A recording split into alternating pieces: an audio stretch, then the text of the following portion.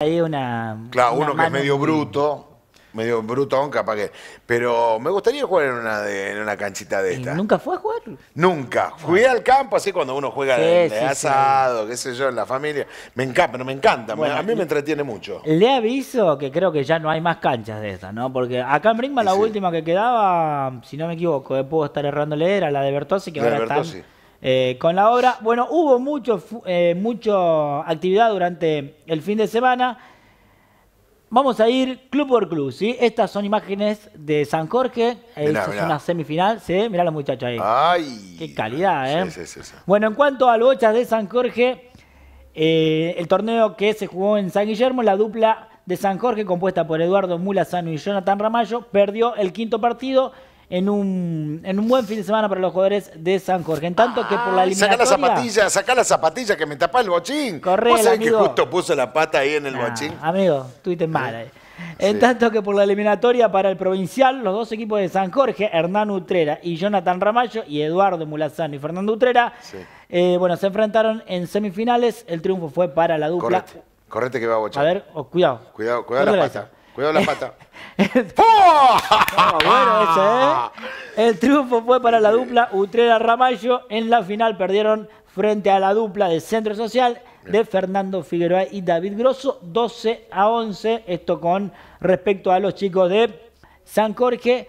En el caso de Centro Social, bueno, se consagraron campeones, como decíamos recién, Fernando Figueroa y David Grosso, en las eliminatorias provinciales, competencia que otorga un lugar en el torneo provincial que se jugará el mes de abril en la localidad de Balnearia. Mientras que, bueno, la dupla rojinegra, eh, compuesta por Diego Ubieda y Ariel Ludueña, eh, tuvieron también una buena actuación, terminaron en el cuarto lugar. El día domingo en la sede de Centro Social fue, bueno, eh, de- fue sede Centro Social del torneo de San Guillermo, donde las parejas de tercera categoría, Diego Ubiedo, Mariano mirá Aguirre cómo dejó esa bocha. y Fabián Tosolini y Miguel Ludueña fueron protagonistas. En segunda categoría participaron las parejas de Andrea Leiva, Darío Almara y Walter Tevez y Lorenzo Nieva.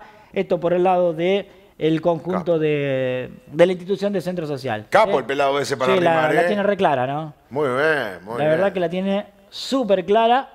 Y por último, para le completar... la tercera. Mirá. Ahí le arrimó la. Sacá el cartel de polo que no me deja ver. Correte, amigo. Ay, le- ya tarde. Ahí Pero la arrimó, ¿eh? Bien, bien. Arrimó bien. Y decíamos que Tres por el lado de Bertossi, bueno, participaron seis equipos en este torneo que decíamos de San Guillermo. Eh, uno de los equipos ganó la zona en lo más importante de eh, que llega desde la información de Bertossi. Así que bueno, los tres clubes que tienen bochas aquí, tanto Centro como San Jorge y Bertossi, eh, tuvieron buenas participaciones. eh, en una final ahí que ganaron los, chicos del centro también por las eliminatorias del provincial. Mucha bocha. Así que lo quiero ver, ¿eh? en cualquier momento lo vamos a filmar. ¿Lisa o rayada? Rayada me gusta. Listo. Bueno. Yo soy medio queso igual. Yo a- Sí. sí, soy medio queso. Sí, nada, no ando para eso. No sirvo para bochar, a mí me gusta arrimar. Ay, No, no tengo Arribador pulso. viejo. No tengo pulso, no, no, menos puntería. Arribador viejo. Pero sí, al rastrón. Original. Al sí. rastrón, dijo. Al rastrón juego bien. Bueno, vamos a lo último, porque si no me corren allá Ah, Ivana Morales está la productora que te está tirarme apuntando con con algo las- allá afuera en con cualquier momento. Mira la está- cara, mira, mira la cara loca que tiene. No, vamos, Eh, no, amigo, no, no.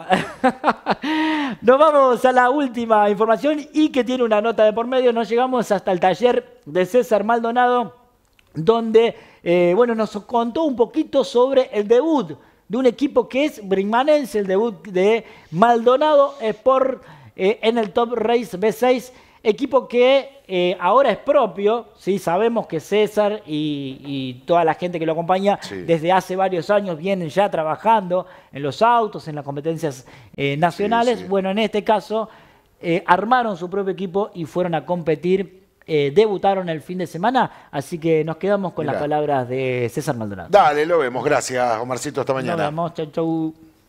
Eh, ¿Qué es esto del, equipo Maldonado para este año, no?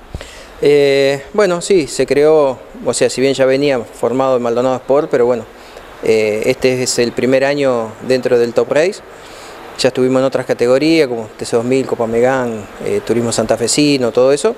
Pero bueno, nos largamos de lleno al Top Race, que era una categoría donde hace muchos años que ya estamos trabajando, pero siempre tercerizado, siempre con otra, trabajando para otro equipo. Y este año, bueno, decidimos en conjunto con, con parte del otro equipo y, y bueno, y la familia de, de, formar Maldonado Sport, ya a nivel nacional con el Top Race. Y bueno, y este fin de semana pasó la primera fecha, eh, fuimos al Autódromo de Buenos Aires, así que bueno, eh, fue un lindo comienzo. Bueno, ¿cómo le fue en, este, en, esta, en esta primera fecha? Muy bien, la verdad que eh, las expectativas quedaron eh, eh, muy bien todo lo que es la presentación del equipo, del box, del auto, cosas que nunca habíamos tenido a, nuestro cargo. y bueno, y después en pista el auto muy bien, siempre con mejorando, tocando cosas, fuimos mejorando el nivel del auto. El piloto tenía que acostumbrarse también al auto porque si bien son todos iguales, pero bueno, no es las puestas a punto a veces son distintas. Eh, pero bueno, llegamos al domingo con un muy buen auto, muy buen ritmo de carrera. Y bueno, faltando dos vueltas, eh, surgió un problema con un aislante del escape, que hubo un principio de incendio. Y bueno, tuvimos que parar por ese motivo, pero venía ganando eh, la Copa Master, que es dentro del campeonato general del Top Race está dividido para mayores de 45, hacen un campeonato paralelo. Y bueno, veníamos ganando la, Copa Master y con buena diferencia el segundo y todo, pero bueno, lamentablemente por una chapa, un aislante ahí que, se, movió, se apoyó el escape y con la temperatura que había se prendió fuego. ¿viste? Bueno, contanos el tema de los pilotos, que por ahora es uno, pero que pueden llegar a ser dos, ¿no? Sí, sí, eh, ahora está confirmado que con el que empezamos es Darío Justosi en el TRB6 en la categoría grande y tengo el auto, un 80% del auto armado del, eh, Top Race Series, que es donde corría Tommy Breso. Eh, y bueno, estamos esperando confirmar un, piloto que eh, estamos ahí en, las charlas previas para, para, confirmarlo para el año. Y bueno, la estructura sería de dos autos, con todo desde acá, desde Brinkman. Así que bueno, creo que va a ser un, lindo año, un poco apretado con los tiempos, con los trabajos, pero bueno, eh, ya, ya tenemos todo bastante, bastante encaminado para que eh, el fin de semana y los días de carrera demos el mejor servicio posible a los, a los, clientes y darle un muy buen auto que es lo que, lo que intentamos hacer. Bueno, me imagino que es todo un desafío estar al frente, digamos, del equipo, ¿no? Sí, sí, sí, un compromiso muy grande, eh, cosa que me cayó la ficha recién el lunes a la mañana cuando volví, después de tener todo el trabajo del fin de semana, nosotros llegamos al autódromo el día jueves y participar de reuniones que antes no iba porque no era titular del equipo, bueno, distintas cosas, eh, atender un poco eh, también la prensa del fin de semana, la gente de Carburando, de Campeones, de, toda esa gente que antes no estaba acostumbrado.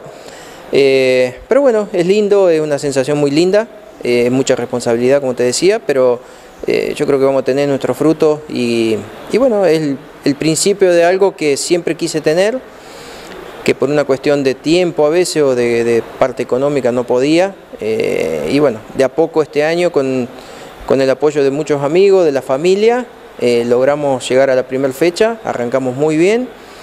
Y bueno, y a medida que vayan surgiendo las carreras durante el año nos vamos a ir afianzando y incorporando más cosas al equipo que las primeras fechas nos faltaron, como todo. Pero yo creo que vamos, vamos a tener un, muy, buen, muy buen equipo y, afrontar las fechas que faltan. Muy bien, ahí estaba entonces la palabra de César Maldonado, contándonos felicitaciones. ¿eh?